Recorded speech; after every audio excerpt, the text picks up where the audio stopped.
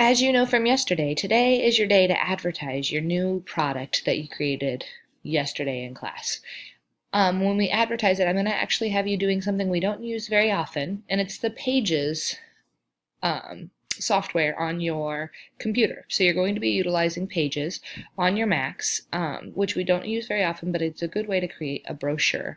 Now, some of you may create brochure again. Some of you may think, meh, I like other other means, and that's okay. So I just want to expose it to you so you see what it's like to create a brochure. So first of all, you're going to need to go to the, your Mac and open up Pages. When you do so, sometimes it goes to this Mine does anyhow. So you can always go up to File at the top and just say New, because I'm not opening an old file. Once you get that, you'll have all of these choices. Um, but like I said, you specifically want a brochure. So to find that, um, you can scroll through and get there. And they're actually the really last thing. So you can choose elegant brochure or museum brochure. I feel like museum is more fitting to what we want to do. So you choose it and it will open up for you. And as you see, it comes with all of these things in here already. Obviously, you don't want their pictures, but what's great about it is it, it makes it really easy for you to just click on it and then press delete and their images are gone. Or if you press Command Z, it comes back. When you've clicked on it, you can then replace it with your own image, okay? And so you can put insert your own image directly on top of that.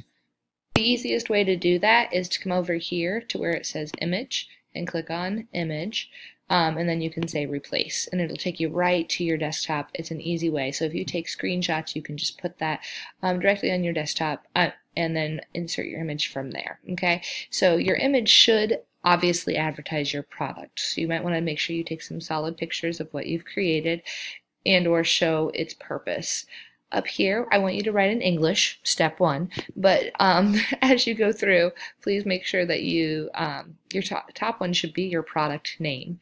And then down here you could see, say, by the creators at, and make up a business name, and then add your names there, okay? So then your front cover of your brochure is done.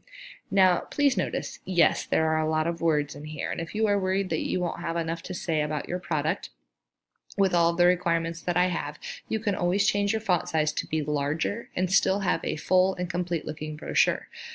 Also, there are lots of spaces for pictures. Pictures are good. They people like pictures, so you can show um, the usability of your product and or for example if your product is helping save the world because it's removing pollutants maybe show pictures of how pollutants are destroying the world right? So advertise your product in multiple ways if say yours is not the most beautiful image to take pictures of. So get creative there.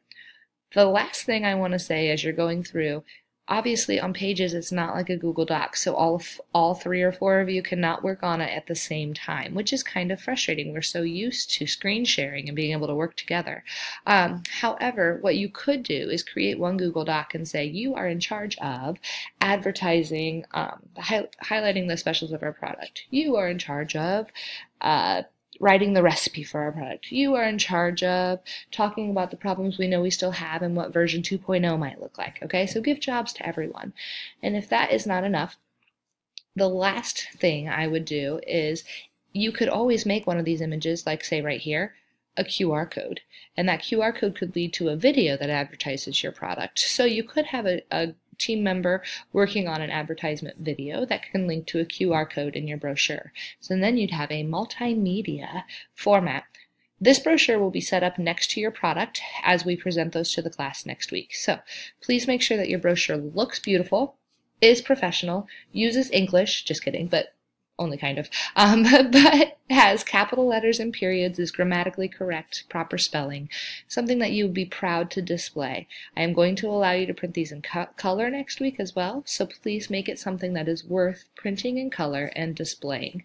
Um, if you have any questions on how to do things, please make sure um, that you try to Google it. It's pretty self-explanatory though. If you want to add text, you click on it, highlight what you want to replace, and put your own words in. So you could say recipe for our product.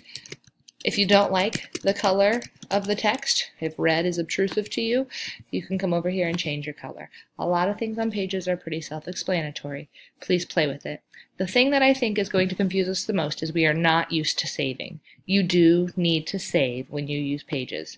Again, you do need to save when using pages. So please make sure when you are done at the end of your um, time today, you make sure that you save what you have created. So you're going to say File Save or Command S. When you do that, it'll say Save As to your desktop that's fine with me. I don't care where you save it, but make sure you save it as something that's logical. Um, so material, new material, or whatever the name of your new material is, okay? And then once it's saved, you'll have to then upload what you've created into our assignment today. So when you're done, you're going to want to make sure that you submit your assignment and you'll have to attach a file okay? And so you'll have to use the one that looks like a paperclip so you can attach an actual file rather than just a link. So I know that's a little different than normal, but please make sure that you remember to attach the file to your brochure at the end of the day today. Even if your brochure is not finished, I want to see what progress you got done. So please make sure you save your brochure and submit what you accomplished today. Thank you very much and have a great day.